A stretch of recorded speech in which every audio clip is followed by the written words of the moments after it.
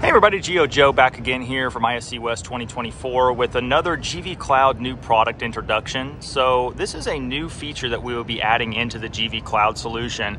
And what it is, is a license plate recognition camera, the GV-LPR2812-DL.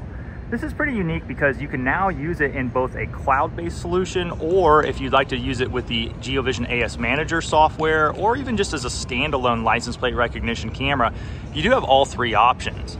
So this is a two megapixel license plate recognition camera with 72 feet of IR. And again, it allows you to bring it in and you can view the license plate recognition results right here within the GV Cloud solution. So as I held up the plate, you can see there it grabbed the image and then it performed the recognition. And so it put the snapshot from the camera right there, as well as the uh, recognition that the engine performed. And then if you have that associated with a user, as we do here, you can see the name Anthony Smith there with his photo. Uh, it will actually allow you to associate those together and you can use it for triggering doors to open or gates to open. So this is the new GV-LPR2812-DL. Thanks a lot for watching.